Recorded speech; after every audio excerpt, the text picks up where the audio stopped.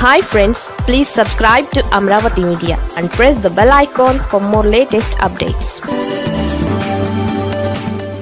చంద్రబాబుకు జగన్ అదిరిపోయే సలహా పాటిస్తే ప్రజలకు ఫుల్ హ్యాపీ. ఏపీలో ప్రజా ఆరోగ్యాన్ని కూటమి ప్రభుత్వం నిర్లక్ష్యం చేస్తోందని మాజీ సీఎం వైఎస్ జగన్ విమర్శలు గుప్పించారు. సీఎం చంద్రబాబును ఉద్దేశించి జగన్ ఓ సుదీర్ఘ ట్వీట్ చేశారు. ఇందులో ఆయన ప్రజా ఆరోగ్యానికి కూటమి సర్కార్ ఉరితాడు బిగిస్తోందని విమర్శించారు. ఇందులో ఆయన ప్రజారోగ్యానికి కూటమి సర్కార్ ఉరితాడు బిగిస్తోందని విమర్శించారు. గతంలో వైసీపీ ప్రభుత్వం ప్రజా ఆరోగ్యం విషయంలో తీసుకున్న చర్యల్ని ఆయన గుర్తు చేశారు. ఇప్పుడు కూటమి సర్కార్ వాటిని విస్మరిస్తోందన్నారు. రాష్ట్రంలో ప్రజా ఆరోగ్య రంగానికి మీ ప్రభుత్వం ఉరితాడు బిగిస్తోంది చంద్రబాబు గారు అంటూ జగన్ ట్వీట్ ప్రారంభించారు. సామాన్యులకు నాణ్యమైన వైద్యం అందకుండా చేస్తోందని ఇప్పటికే స్పెషలిస్ట్ వైద్యుల సహా సిబ్బంది నియామకాలను ఆపడంతో జీరో వేకెన్సీ పాలసీకి గండి కొడుతున్నారని విమర్శించారు. మరోవంక బిల్లులు చెల్లించకుండా ఆరోగ్యశ్రీని నీరుగారుస్తున్నారన్నారు.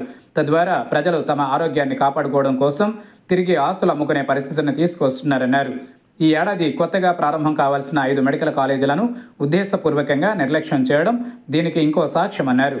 ఈ ఏడాది ఆ కాలేజీలలో తరగతులు ప్రారంభం కాకపోవడం మీ ప్రభుత్వ అసమర్థతకు నిదర్శనమన్నారు. తమ హయాంలో ప్రజారోగ్య రంగాన్ని పటిష్టం చేయడం కోసం విప్లవాత్మక సంస్కరణలు తీసుకువచ్చినట్లు జగన్ తెలిపారు. Village ward clinics family doctor మండలానికి రెండు పిహెచ్సిలు one zero eight one zero four సర్వీసులు గణనీయంగా పెంపు ఆరోగ్యశ్రీ పరిధిలోకి మూడు వేల రెండు వందల యాభై ఏడు చికిత్సలు.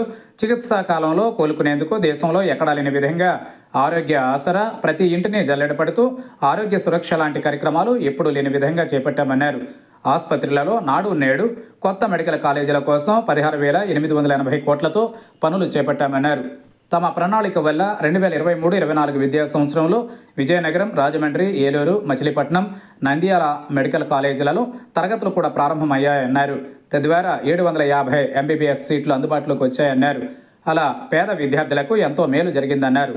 ఈ క్రమంలో రెండు వేల ఇరవై నాలుగు ఇరవై ఐదు విద్యా సంవత్సరంలో మరో ఐదు చోట్ల పాడేరు మార్కాపురం మదనపల్లె పులివెందల ఆదోని కాలేజీలలో క్లాసులు ప్రారంభం కావాల్సి ఉందని అన్ని వసతులు ఉన్నా చంద్రబాబు మీ వైఖరి కారణంగా వీటికి గ్రహణం పట్టిందని జగన్ విమర్శించారు. కేంద్ర ప్రభుత్వాన్ని నడుపుతున్న బీజేపీతో పొత్తులో ఉన్నా మీరు అనుమతులు తెచ్చుకోలేకపోయారు.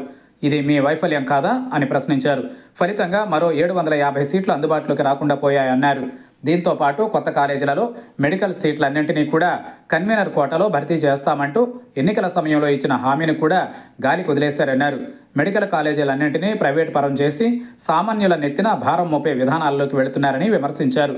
పీపీపీపీ మోడల్ అంటూ ప్రైవేట్ కోసం ప్రైవేట్ కొరకు ప్రైవేట్ చేత ప్రైవేట్ వల్ల నడుపుతున్న వ్యవస్థల ప్రజా ఆరోగ్యాన్ని మార్చేసి సామాన్యుడికి నాణ్యమైన వైద్యం అందుబాటులో లేని పరిస్థితిని తీసుకొస్తున్నారని ఆరోపించారు.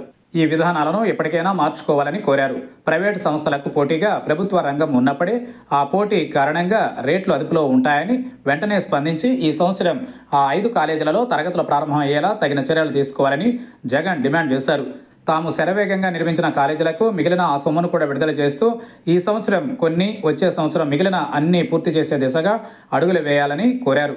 మీ మద్దతుపైనే కేంద్ర ప్రభుత్వం ఆధారపడి ఉంది కాబట్టి ఆ పలుకుబడిని వాడుకుని ఆ ఐదు కాలేజీలకు వెంటనే అనుమతులు తీసుకురావాలని కోరారు.